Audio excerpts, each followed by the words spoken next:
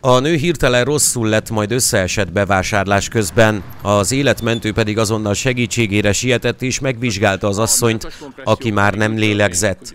Kardos József rögtön megkezdte az újraélesztést, miközben a szemtanúk a mentők segítségét kérték.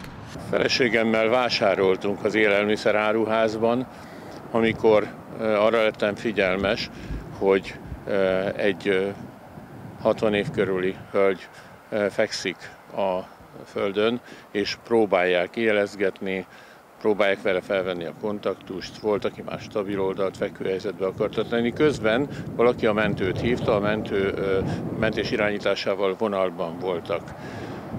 Átlátva a helyzetet, a mentés irányítónak mondtam, hogy úgy tűnik újraélesztésre lesz szükség, és kérném az esetkocsit, és én magam megvizsgáltam úgy, ahogy tanítjuk, ahogy egy elsősegélynyújtónak is kell tudni, hogy kontaktusképtelen, megnéztem, van-e légzése, nem volt légzése. Nyilván én, mint szakember a keringését is vizsgáltam, de ezt az elsősegélynyújtóktól nem várjuk el.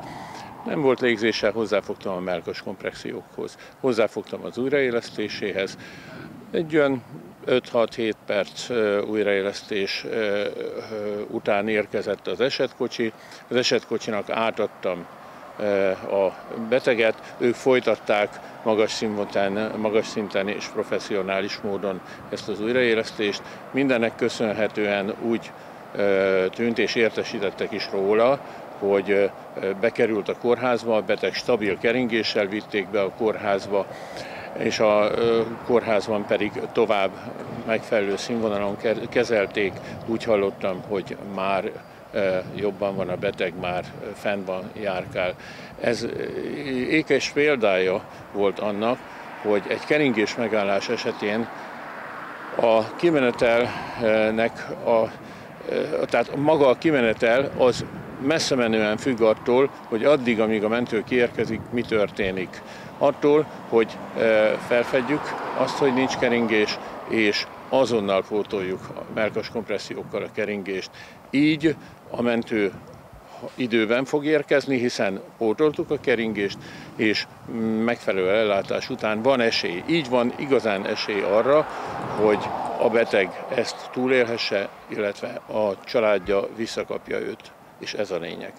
A mentősök perceken belül helyszínre értek, és emelt szinten folytatták az életmentést, amit a vásárlók reménykedve figyeltek.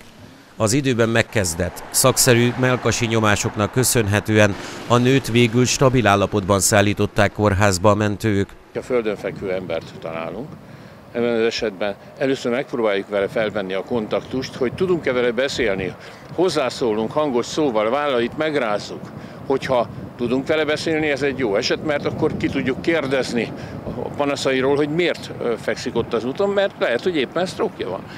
Hogyha nem reagál, akkor viszont azonnal meg kell vizsgálni a légzését, hogy van vagy nincs, fejet hátrahajtjuk, ezzel a légutat biztosítjuk, hármas érzékeléssel, tehát a fülemet az ő orrához dugom, és hallom a szuszogását, érzem az arcbőrömmel a hideg-meleg hatást, és a melkasát látom, hogy emelkedik, süllyed.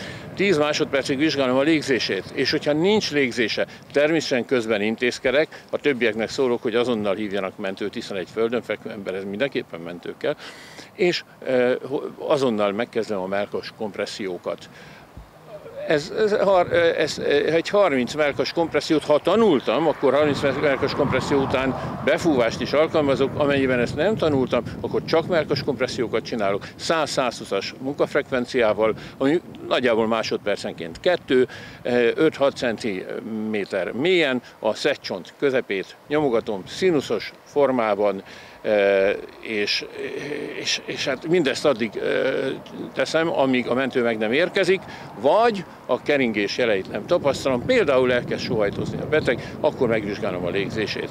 Mert ha szerencsénk van, visszatért a keringése, ezért van légzése, ebben az esetben stabil oldalt fekvőhelyzetbe kell őt tenni, és figyelni tovább, hogy esetleg nem áll le újra. Az Országos Mentőszolgálat közösségi oldalán is mielőbbi felépülést kívánt az életmentésben résztvevőknek. Gratulált!